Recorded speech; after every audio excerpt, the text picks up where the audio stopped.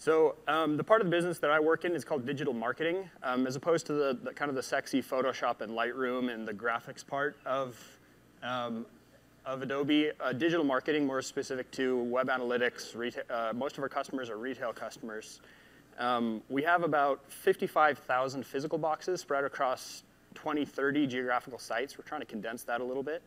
Um, and we have a collection of about 20 administrative teams. That's 20 sysadmin, SRE teams, whatever you'd like to call them, uh, spread across, the globe, each managing their own products. Uh, we have pretty much any technology you can think of, um, but we're mostly a, a Linux Unix shop. Um, monitoring tool set, at least network monitoring, is uh, we've got pretty much everything you can think of. We've got some NetFlow collections, full packet capture. We've got IDS. Yeah, if you can think of it, we've, we've probably got it running somewhere. Um, so our security monitoring team, uh, so security monitoring in Adobe kind of works two, in uh, two ways. There's the security engineering team, the team that I'm a part of that's responsible for setting up and maintaining, running the systems that collect the data. Um, we define what security notables are, which is um, a set of conditions which, if satisfied, creates a, a notable that is uh, actioned and investigated by a human. And we work with the internal audit team to gauge compliance of these, all of these hosts, systems, platforms um, that are maintained by these 20 administrative teams. Um, as security notables or security events are created, they go over to our security operations team, who does the analysis on them. They also hunt through the data, kind of more free-form hunting. Um, they investigate possible incidents or anything that's been uh, passed over to us from somewhere else within the organization or third party. Um, and they also uh, take part in incident response work. Uh, and so to do this, yeah, so do this, you can, you can use Splunk to uh, manage your environments. And what Splunk is, is it's a uh, data platform. It allows you to collect data, uh, enrich it at collection time, or even enrich it with field extractions at search time. So it deals with structured and unstructured data, and you can, uh, it's very flexible in how you can uh, manipulate the data. And uh, also, uh, which I'll show you in the app, we can do a lot of cross-data correlation. You can actually take config data and overlay it with CloudWatch data and even security data to get a really rich experience because you can um, link all of those different data sources together. Um, Splunk also has a really um, good reporting and alerting system, so you can send executive dashboards and uh, also alert into like ticketing systems for resolution. How we integrate with uh, AWS is we actually collect uh, all the major data sources uh, for AWS and, uh, and then uh, with our app and add-on, and then you can do all of this different uh, data munging with it as well. So the digital marketing is largely a, comprised of a handful of acquisitions. Some of it has been grown organically, like new products that have been built out from within, um, but a lot of them have been acquired externally. Um, several of these were already in, in AWS when we purchased them. Others have been re-architected um, over the past couple of years, and the teams have elected to move into AWS. We have a lot of AWS accounts, um, thousands and thousands of instances across over 200 AWS accounts. And we, were, we determined that we didn't have the data available in these environments when we needed to do any kind of security investigation. So we'd get some third-party notification or realize that something looked a little funny, and we'd realized we didn't have the data to dig in and determine if something was going wrong there. We also didn't have the ability to make assertions to our compliance team that everything was hunky-dory and was set up the way it should be. Um, so our management gave us a, a, mandate that we needed to fix this. We needed to figure out what visibility we could get for security monitoring in AWS um, we needed to collect that data, uh, and we needed to make it as, as inexpensive as we were able to. Um, and we needed to have almost like no possible way of impacting operations. Um, if you want to lose reputation as a security team in your organization, um, impact operations. You're pretty guaranteed to like lose funding, lose respect. it makes it life a lot more difficult.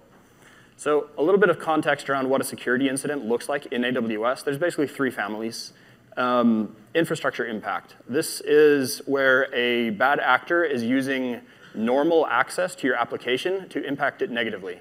That's usually going to be something like a DDoS, um, where they're just exceeding the amount, uh, uh, they're exceeding, they're using your services in such a way that makes it so that your services are incapable of providing um, services to other users.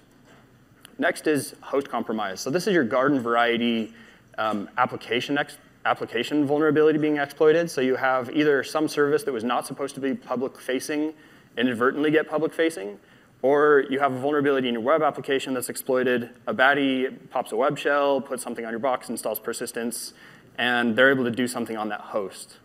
Um, next is very specific to, uh, to cloud deployments, where you have an account compromise. And this is where the, the baddie is interacting with uh, your cloud provider, with AWS, as an authenticated AWS user. So that means that they've managed to get a hold of um, a user's AWS console uh, username and password, or they got access to an API key somehow, either through a compromised dev machine or somebody accidentally pushed something with your API key to Git, um, that can by far be the most damaging um, of compromises that you can run into in AWS, obviously depending on what permissions that account has. So we had um, some initial goals that we put together um, when we had the requirements from management. We also had some things that we wanted to do to make lives easier on ourselves. Um, we wanted to identify and collect the data we wanted to do the analysis of that data the same way that we were doing it for our on-premise monitoring. So we wanted to collect the data into Splunk. We wanted to generate notables off of that and have that action by our security operations team. We did not want to split out our monitoring into two different places um, because then we'd have to train our, our analysts on a whole new set of technologies, have them log into some other console. Um, we'd have to pipe all of our threat intelligence, and like it was just too much of a mess to try and do this collection and monitoring in multiple places. So we want to have it in one place. Um, to minimize operations impact, we did not want to create hundreds and hundreds of IAM users across these, these AWS accounts. Um, we didn't want to have any monitoring in line, so no risk to services uh, through potential traffic disruption. And we wanted to make it very, very easy to set up since we, more specifically I, was probably going to have to do this 200 plus times. I didn't want to spend the next three years deploying this. So uh, quick to set up. So to monitor your AWS environment, the AWS offers a bunch of different services. Um, they have CloudTrail, which allows you to monitor uh, API activity and, and uh, gives you user logs. Uh, they have Trusted Advisor, which is a paid service, which allows you to manage or helps you to manage your account and best practices, gives you lots of advice on, on ways to remediate issues that you may have. Um, they have AWS config, which allows you to see all of the changes that are happening in your account and, and track those, as well as track the inventory within your, your environment. Um, they have a, a, a, newer system that's called VPC Flow Logs, which is the equivalent of firewall rules for like Amazon instances. And that allows you to see authorized activity and unauthorized activity that are trying to get through your, your firewall. Um, they also have a, a, key management and access system, uh, which is the IAM uh, stuff that uh, that Scott was talking about. And they also have uh, ELB logs, which allow you to see all the activity that's coming through your environment. The great thing about this is the way that they log all of this stuff is in JSON format, which is really easy for Splunk to consume and then also um, you know, uh, pivot on, on the key values. One quick clarification on the VPC flow logs is that in addition to giving you firewall-like rules where things are accepted or denied, it will also give you um, uh, any interaction between ENIs, between network interfaces within your VPC. So you're not only getting traffic into or out of your perimeter, you're also getting traffic within your network. Um, so the first thing that we discovered as I started doing my research to figure out how to make this easy on myself was IAM roles versus users. Um, IAM, you can create users, which is, usually represent an entity. They have, uh, they have a name, they have API keys uh, that will need to be rotated. Um, you can also have roles, and the distinction between a user and a role is that a role does not have a credential. Um, rather than authenticating directly to a role, a role permits some other entity, um, uh, they're termed principals, like a different user, a different role, potentially an IP address, to assume that role and gain the privileges of that role. So if I am authenticated to a user in a different AWS account, and a role has been set up to allow me to assume that role, I can then uh, re request temporary tokens into the assume into the other account and take actions on that account without actually owning and maintaining and rotating API keys. Um, so it's a pretty elegant way of um, setting up access without requiring keys. Oh, these are me. Okay, so a few more uh, AWS services. I imagine most of the people in this room are probably already familiar with this, um, but as they come into play with how we do our collection, I'm going to review them very briefly. S3 is file and object storage. You put an object up, like a document, you pull it back down. Um, Lambda, uh, you can run your functions, scripts, whatever you'd like as uh, code without instances. In the back end, they're basically spinning up a temporary container for you, dropping your script in there, executing it, and then tearing it back down. Um, most of the Lambda work that I've done is in Python. So as we talk uh, more about how we're using Lambda here, those are mostly Python functions. Um, Amazon Kinesis is used for scale data streaming. Um, CloudWatch Logs is the uh, AWS service for aggregating logs from your instances and from a few other services. VPC flows are delivered initially to CloudWatch Logs. Um, SNS notification services allows you to send a message to the SNS endpoint, which is then replicated to any, uh, any other services that are subscribed to that notification service, to that topic. Um, DynamoDB is a NoSQL database. We largely are using that in this situation for configuration store. So collection plumbing. Um, most of the data sources that we wanted to collect can be delivered um, automatically, basically, to an S3 bucket. Um, most of them, you can set up one, EL, one S3 bucket and collect it globally. Um, for example, config and CloudTrail and trusted, well, config and CloudTrail can both be set up to deliver um, globally to a single EL, to a single S3 bucket. Um, ELB, you do have to set up a different S3 bucket in each region. That has to be local to the um, local to the ELB that is delivering those logs or generating those logs. Um, and trusted advisor results and uh, config parsed are another two, bucket, two buckets that we might use to make life a little bit easier on ourselves um, when it comes to Splunk ingest. So VPC flows. Um, we to collect VPC flows, you need a Kinesis stream in the region you're collecting the flows from, and you set up a CloudWatch log destination in that account. So jumping to a more graphical representation of what this looks like, the delivery, um, CloudTrail conf and config are both set up, can be set up to deliver to an S3 bucket that is in a different AWS account.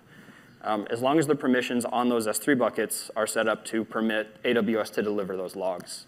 ELB access logs delivers from the ELB, uh, are generated from the ELB, is delivered by the ELB log service to an S3 bucket in the same region. Um, VPC flow logs are a little bit trickier. Um, on the monitored account, you have to set up what is called a, uh, you set up a CloudWatch logs group, um, and instruct the VPC to deliver those logs to that logs group, and you then set up a subscription filter on the logs group to replicate any events that hit that log group across to the other AWS accounts CloudWatch logs destination. Um, this is where your filtering can happen. There's not a, a ton of filtering. Uh, there may be some, there's, there's some filtering options. You can basically set it up to um, send messages for a given set of IPs. You can set it up to send messages for accepts or denies. So if you're only interested in collecting some subset of your VPC flows, um, this is probably where you would put that filter in place. Um, those logs hit the CloudWatch logs destination in my account, in the aggregation account. This is not the account that the, the data is being generated from. It's forwarded into it. Um, and then those are sent into Kinesis. Um, yeah, so VPC flow logs to CloudWatch logs to CloudWatch log destination to Kinesis. The other two don't have a, way of automating the, that delivery. Um, for IAM, mostly the credential reports is what we're collecting and the trusted advisor results, which we refresh daily. You can't set those up to say, I want this every day, please send it to me. Um, so we have a Lambda function that assumes the role that we create in the other account, requests the report to be generated, retrieves the report, and then manually stores that into an S3 bucket. So the other uh, CloudTrail, Config, and CloudWatch are automatically delivered on a regular basis. IAM credential report and trusted advisor requires some kind of trigger to generate report, uh, generate, retrieve, and store those, uh, that data. So that's how the things are delivered, um, but it still takes a little bit of work to actually set up that delivery. So we've created a CloudFormation template. It's actually a pretty simple CloudFormation template. It does not touch any of EC2. All it does is it takes a, a couple of inputs. Um, when you create a CloudFormation template, you can specify parameters that are handed into the template. We use a friendly name uh, so that the people that are setting this up have an idea of what each AWS account is used for. Um, we have a Jira queue. Most of the work that we do is tracked through Jira. So when we have something that happens in an AWS account, we have a contact point. We have that Jira queue to know who to escalate to. And we have a description so that if that Jira queue manages a handful of different AWS accounts, um, they can have some idea of what the AWS account is used for um, without needing to like figure out, okay, that ID, log into that, ID, log into that account, what's going on in this account. Oh, it's, it's uh, the stage environment for whatever product I'm doing over here. Um, the description makes it a lot easier to track um, which account is used for what. The resources that it creates are the, a config role and a flow logs role. These two are used by AWS to deliver or to retrieve, generate, and deliver the logs into the account. So as a security team, we do not use the config or flow logs role. Uh, we also create a security engineering role. Um, this role is actually has pretty limited permissions. It has um, read to most of the services. It has the ability to um, modify ELB attributes to turn on ELB, uh, ELB access log delivery. Uh, it has the ability to turn on and off VPC flow logs, uh, to do config snapshots, retrieve trusted advisor, a handful of other things. Um, most of the teams that we've worked with in deploying this have felt pretty comfortable with giving us these permissions as they're, it doesn't include anything that could impact, that could significantly impact what they're doing. Um, we'll talk a little bit more about that later. So as CloudFormation is finished, we, excuse me, when we're setting up CloudFormation to deploy, we also give it an SNS topic to, to send notifications of stack completion to. So as each one of these resources is, starts to be created, CloudFormation sends a message to me well, to my SNS topic saying, I'm starting to create this role, now this role, now this role. Oh, I'm all done. When I receive that I'm all done message, I fire off a Lambda function that uses the newly created role, jumps in, use, uses that role to jump into the newly registered account, grabs the outputs and inputs of this CloudFormation deployment, and then puts that into a DynamoDB registration, uh, a registration item. So that makes it so that whenever anybody runs this CloudFormation template, as long as they specify the destination, the notification ARN for the SNS topic, I get an idea of who has deployed my role, what the name of that role is, and uh, the JIRA queue and the description for the account. Um, if you haven't used CloudFormation, it's very, very simple. Um, when you, it, it'll prompt you for a stack name, which for us, we don't care. That's entirely for the account that's being registered to track which, uh, which stack is this. So most of them are naming it something like the information security monitoring stack or something along those lines. Um, they're also prompted at this point for uh, the name, the JIRA queue, and then what types of, what, what environment phase they're in, dev stage or prod.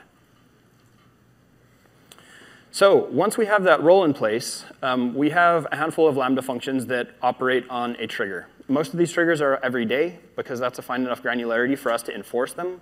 Some of them are every six hours if we feel like we need uh, less space between the times we're collecting data, if there are things that are a little more dynamic, change more often. Um, most of the functions are also split into two functions. Um, if you use Lambda, um, you may have noticed that there's a maximum execution time of five minutes. Um, if you're trying to do something across 50 or 100 AWS accounts, almost no matter how trivial it is, it could take you about five minutes just to assume the role and get the API key and do something small and simple. So to avoid any timeout problems, we've split this into two functions. One is a distributor function that basically retrieves the list of roles from DynamoDB um, and then hands each of those roles off to a handler function. So distributor function collects all the roles, hands to an asynchronous handler function, which actually is the one that does the work. The handler function takes the role, hits the STS service, retrieves those temporary credentials that it's able to through the role, um, reaches out to DynamoDB to determine if there are any exception, exceptions set for this account. Um, for config, this is rare. Um, it's unusual that uh, there, config is a small enough amount of data that collecting it every day from every account isn't painful. Um, and that you're not sending a ton of data into Splunk that you're going to be paying more for hardware or licensing. Um, so config's not a problem. With ELB access logs and VPC flow logs, those volumes can be massive. Um, right now, we're collecting somewhere between two and a half and three terabytes a day of ELB access logs and VPC flow logs. Some of those, some of, uh, that's after trimming out a bunch of ELBs and VPCs that didn't make sense for us to collect. So there are some situations where you will want to put an exception in um, your configuration management in Dynamo, not configuration management, but in your DynamoDB configuration to say if it's this ELB or this VPC, just leave it off. Don't send that to me, please. I will drown. Um, for config, it's easy. Uh, just collect it. It's relatively cheap if you're just doing snapshots. Um, so the handler takes those temporary credentials, jumps into the other account, sets up config, um, enables it, creates a config recorder, sets a config delivery channel, and then specifies the frequency that you want these snapshots delivered. I think we do every four hours. Um, config then, from that point on, will every four hours deliver a snapshot, um, depending on how you have it configured, from either one region or every region to your S3 bucket. We trigger this every day. Um, this Lambda function is set off every day so that if for some reason config is disabled in a region, um, within 24 hours, excuse me, yeah, within 24 hours, it is re-enabled and those config snapshots start coming in again. For scheduled retrieval and storage, like for Trusted Advisor and IAM credential reports, um, the first part looks a lot the same. Distributor function gets the role, hands to a handler function, retrieves temporary credentials, but it will assume those credentials, generate the report, um, pull for a little bit to make sure that the report is finished, then retrieve it, and then store that into S3 rather than waiting for the service to deliver it into S3 itself. So dashboards and analysis. Um, initially, so we use the Splunk add-on for Amazon Web Services, which Randy is going to speak a little bit more about in a couple minutes. Um, it has inputs for tons of different AWS services, which he'll speak about as well. Um, we only use the S3 input. Um, the reason for that is that we are aggregating all of our logs into S3 buckets before send, pulling them into Splunk. Um, if you only have a handful of accounts, it's not too bad to set up these inputs for each account as they come online. Um, you'd be setting up one for ELB in each region, one for CloudTrail, one for VPC flow log, or one for VPC flows in each region, and perhaps a handful of others. It comes to about, uh, I think, 14 inputs for, per account. For us, that wasn't going to scale well. We would be handling thousands and thousands of Splunk input stanzas, um, which wasn't practical for us for just AWS monitoring. Um, by aggregating them all into one AWS account, into those S3 and Kinesis, then you can set up 26 inputs, and regardless of how many AWS accounts you spin up, you never have to add additional, uh, additional inputs. Um, the one caveat to that is if your volume is so high that you need to split what you're ingesting into multiple um, Splunk indexers, then you may need to put those into different S3 buckets, have one, uh, uh, have one indexer pull from one bucket and the other pull from the other batch of buckets. So you can scale horizontally.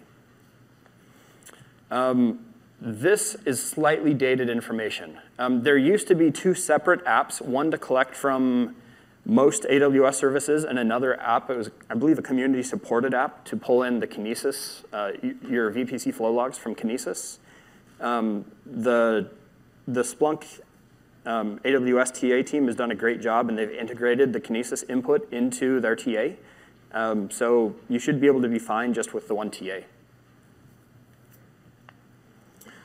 So once you have the data in Splunk, um, you still want to be able to do your data enrichment um, and parsing. So most of the data is in JSON, which Splunk parses just fine. Um, you can basically send any kind of JSON data into Splunk, and as long as it's not nested too far down and using arrays, and there's a couple caveats, weird things you can do with that. But if it's a straight JSON dictionary, it parses very, very easily.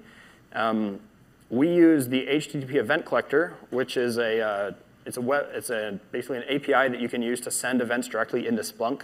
So we collect the DynamoDB registrations and submit that. So we always have an up-to-date idea of what accounts are registered, what do we have monitored, and who do they belong to as a lookup in our, in our Splunk deployment. And we have automatic lookups on each source type. So as we see an event in Splunk, we can hit the expand this event and we can tell who it belongs to, what the JIRA queue is, uh, the account description, all that kind of stuff. Um, the source types also um, tag into the enterprise security data models, which makes some of our um, correlation searches that we've set up for other monitoring tools work right out of the box. So about two or three days after I had set up some of our initial accounts, I got a call from our SOC saying that asking what this data was coming from AWS that was triggering on our threat intelligence. I had no idea that that was going to happen. Um, I just set up the ingest, had it use the source type the, provided by the TA, and like it was, it was working pretty much out of the box. It was awesome. It was kind of startling, but it was awesome. Um, this also is slightly dated. We now have 57 AWS accounts that we've onboarded with this. Um, and just actually, I think we have closer to like 5,500 uh, instances running right now, and pushing now closer to three terabytes a day that we're ingesting. One heavy forwarder is handling it at this point. If you're familiar with Splunk, it's a pretty beefy heavy forwarder, um, but it's, it's doing the job. So we've created a handful of dashboards to give us context when we're doing an investigation or if we're just trying to get an idea of what an account is used for. Um, so this is a Splunk dashboard that's been generated off of the config data.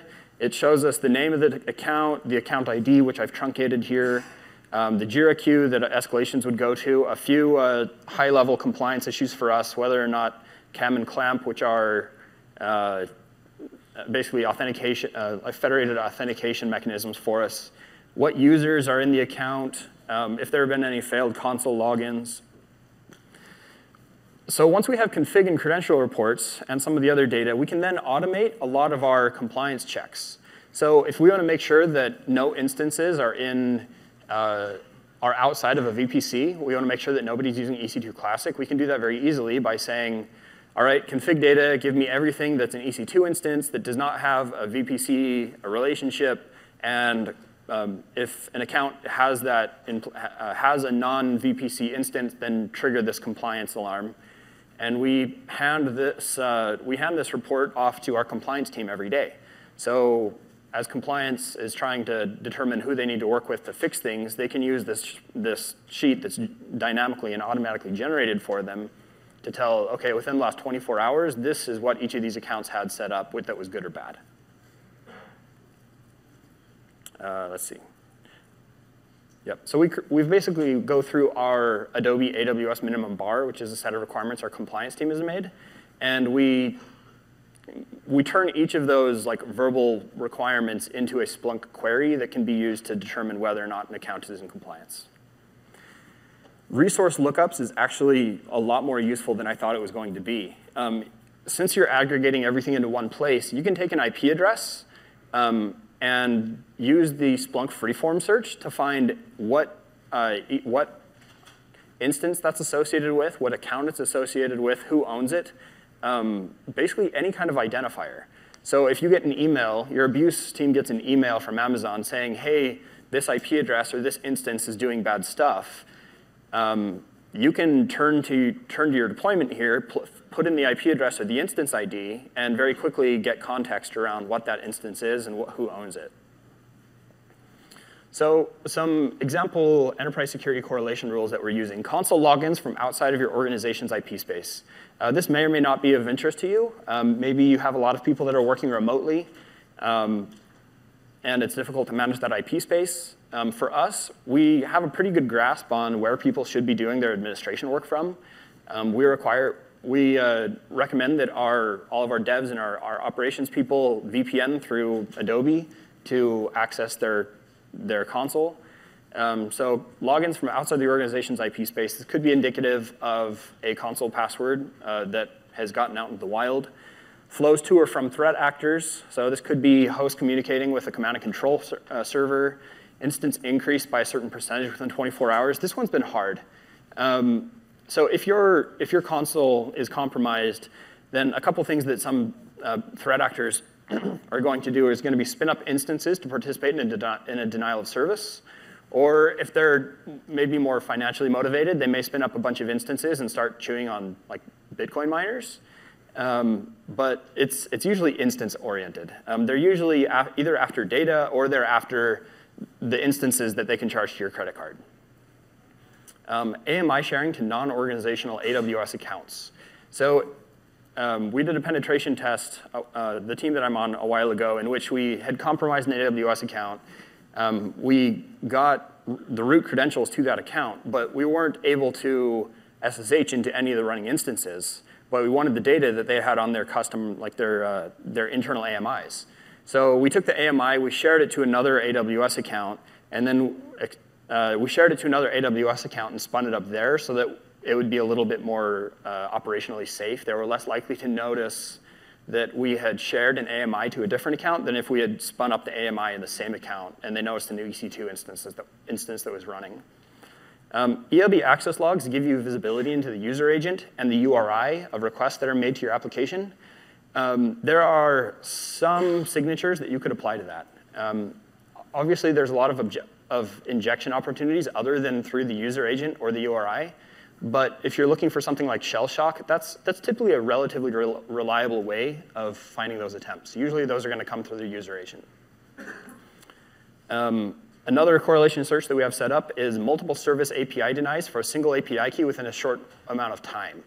Um, is anyone in the room familiar with Nimbostratus? It's a cloud. It is a cloud. Um, it's also a tool that was released at Black Hat a couple of years ago. It's a permissions enumeration tool. So if you get an API key and you don't know what account it's to and you don't know what permissions it has and it doesn't have permissions to IAM to enumerate its own permissions, um, you can use Nimbostratus to chew through a bunch of common calls and see whether or not it fails on those calls.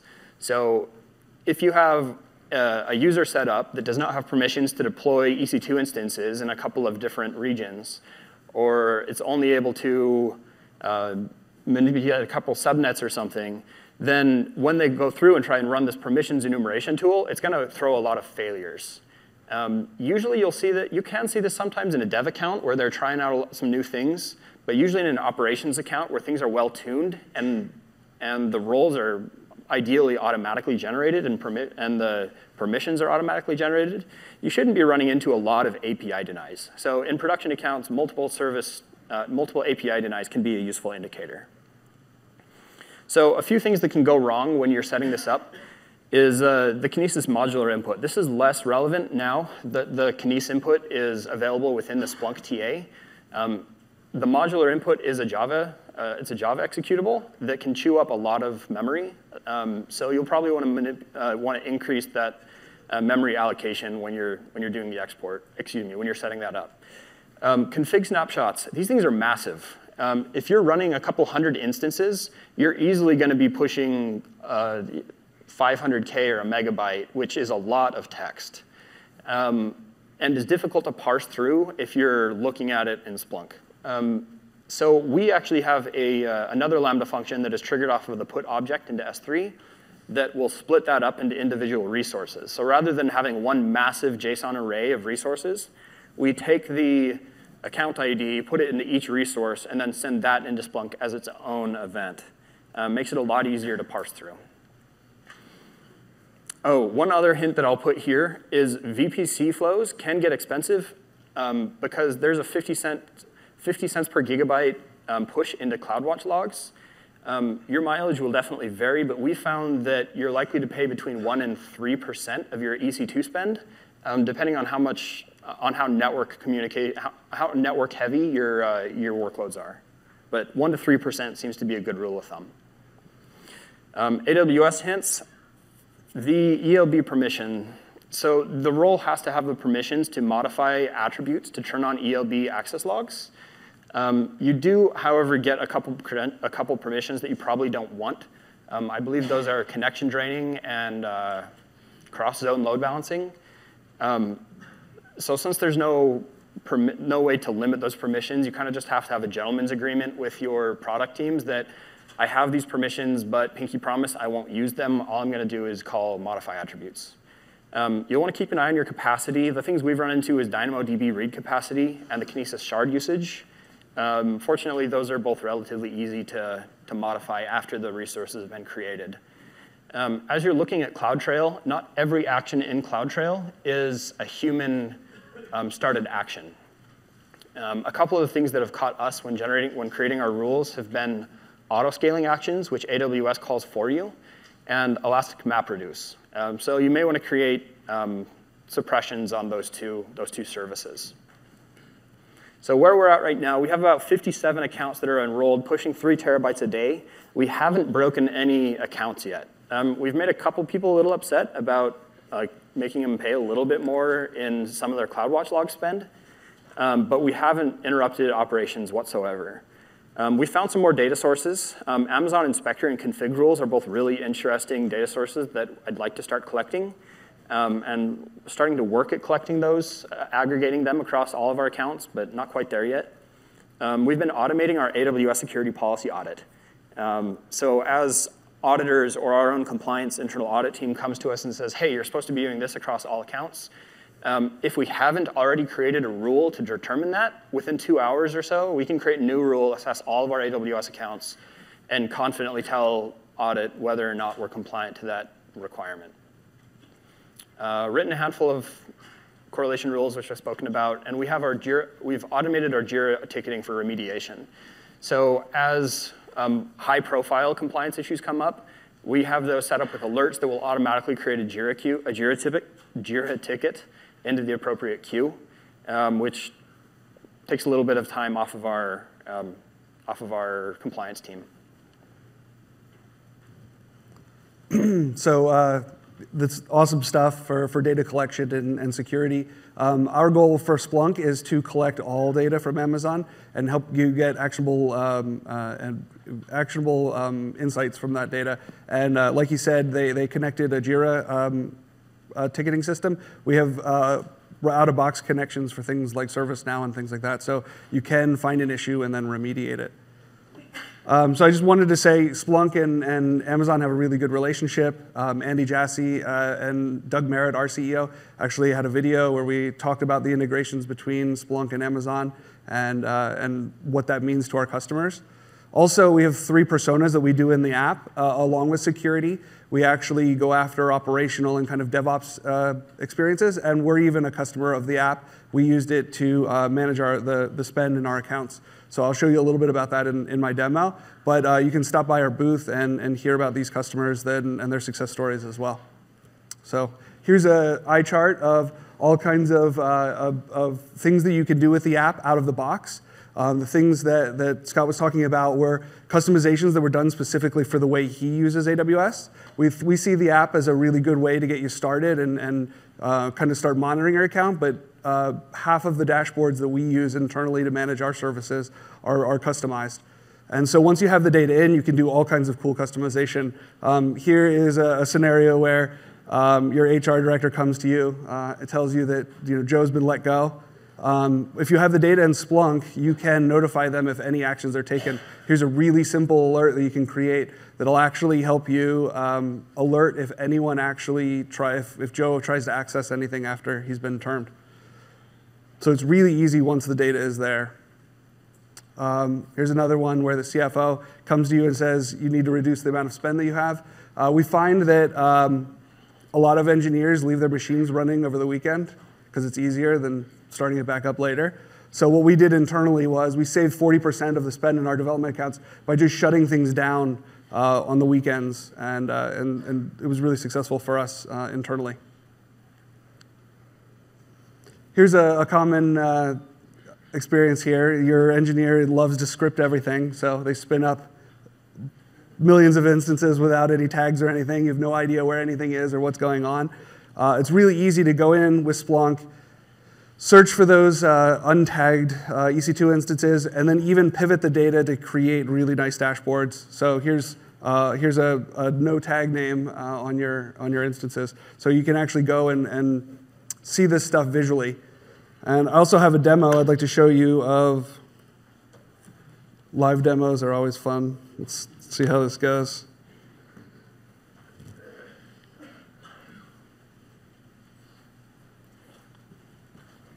So here is our overview dashboard. Um, one of the awesome things about this AWS app is that you can, uh, after you get all the data into Splunk, you can sort things. Um, you, can, you can see here that um, you have multiple accounts. We only have one demo account in here right now, but if you have a list of accounts, you can see all of those accounts in one place. The other value here is uh, you can put multiple regions here. So all the regions that you actually have data in can be all shown in one place, or you can filter it by region. So you don't have to open up a bunch of tabs like you do in Amazon when you're actually looking at all of that data. We also have the ability to pivot things with tags. So uh, using the key value pairs, you can actually uh, put in here if you tag all your instances for a certain service, you can see what the cost of that service is. So for security data, um, you, can, you can do things like, uh, I see I have 109 um, uh, failures uh, in, in config. So I can actually drill into that, and it takes you into a deeper dashboard so that you can look at what the resource activity, where did all of those errors come from? It actually pre-populates the dashboard with all of your delete, delete um, incidences, shows what um, you can roll over and see when those things happened. You can see who actually um, you know, what, what uh, instances the actions were taken on. Um, the other cool thing is you can just keep you know, changing these things to see all of the different things that are happening in your account. Um, we have a lot of different security dashboards. You can see there's a bunch here. Um, I think the really interesting ones are things like key pairs. This is a really good example of where you can see when your account has been compromised. Your, um, first thing that's going to happen in your account is you're going to see a bunch of key pairs get deleted and a bunch of new ones get created because people are then going to do bit mining and things like that with your instances. So um, this gives you the ability to see at a really high level across a bunch of accounts how that, how that is happening, what actions are happening in your account. Um, also, the activities that, you, that um, Scott was talking about before, where you can actually see the information about uh, what you know, console logins are happening. You can actually track all the user activities in your account. Not necessarily the things that are happening with keys, but things that are actually happening at the console level. So this gives you a really good eye, and because all the data here is time series, you have a, uh, an audit trail of what's happened in your account. If you keep this data for an entire year, uh, you go to term an engineer, you can actually see what they did over the time that they were um, you know, working in your environments. So it gives you a really good uh, audit trail so you can keep track of everything that's happening in your account. Um, one of the things that, that Scott was talking about was VPC flow logs. Um, they're a wealth of information. Uh, yes, they're a large data source, but when you collect this data, you can track authorized and unauthorized actions that are happening in your account. You can drill into things like uh, IP addresses that are connected and see um, possible port sniffing activities or, or uh, all of the denials that have happened between two IP addresses. So you can see if somebody's um, trying to, to crack open your machines.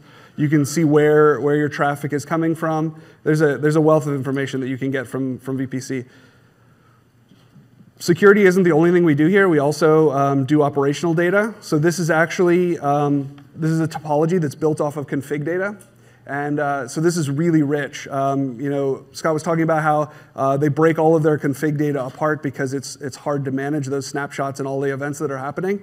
We actually um, are, are, giving you the ability to, um, one, see all of this in a visual way. So you can see machines that are stopped and started. You can see what happened at that actual uh, point when, when an action was taken. But you can also drill in and see like that specific instance. How much did I pay for that instance last month? How much um, how much did I, uh, uh, you know, send through, uh, C, how much CPU utilization did I have? How many uh, IOPS were, what was I using on the regular basis? And you can actually drill in and see these specific things um, for this instance. It's really good for actually debugging things uh, in your account.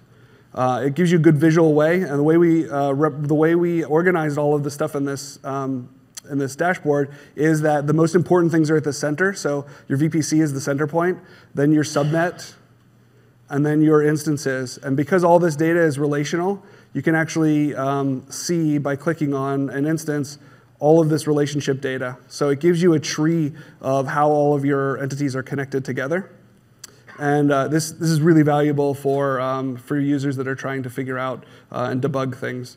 Um, we also have a concept of overlays. So you can do things like if you use config rules and inspector for, for compliance, you can actually um, drill into those things and see what, um, what config rules and inspector insights that you've had for that specific instance. This gives you a chance to go in and, and remediate something if you have an issue there. Uh, other things that a lot of things that people really like with this dashboard is uh, the fact that you can play back everything that's happened. A lot of times people will use this when they spin up a, a new environment and then tear down an old environment, and you can uh, get an executive summary of what's happened while um, during that um, during those config config changes.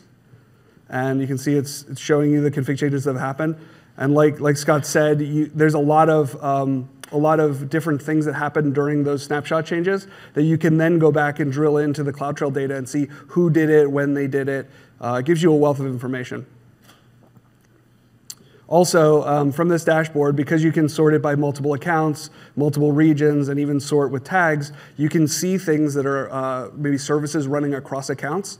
This visibility is hard to get with other uh, Amazon services. We even have this, this concept of insights. So we um, help you manage your account better. So by clicking on uh, one of these insights, it will tell you that this instance is, um, under, is overutilized. It's, it's utilized more than 90%.